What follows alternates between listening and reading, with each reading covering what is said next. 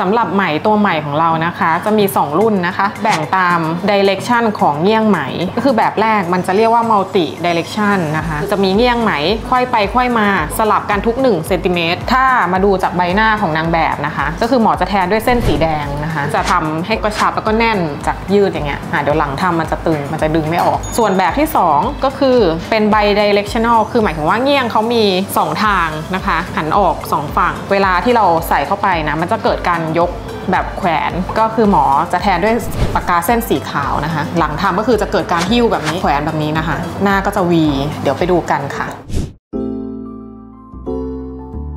ไหม่รุ่นนี้นะคะก็คือข้อแตกต่างมันจะมีแคปตรงนี้นะคะ ก็คือแคปเนี้ยสำคัญยังไงอ่าเวลาที่เราแทงเข็มเข้าไปนะ เราก็จะสามารถหา layer ที่ถูกต้องได้ โดยการที่ว่าถ้าสมมติว่าเราเข้าไปแล้วเรายังรู้สึกว่ามันยังไม่พอดีเนี่ยเราสามารถถอยเข็มแล้วก็แทงย้อนกลับไปใหม่ได้นะคะ โดยที่ไหมเนี่ยมันจะยังไม่ล็อกพอเราหา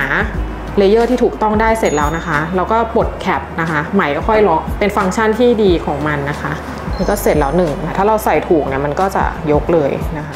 ผลลัพธ์หลังร้อยไหมวันที่ 3 นะคะ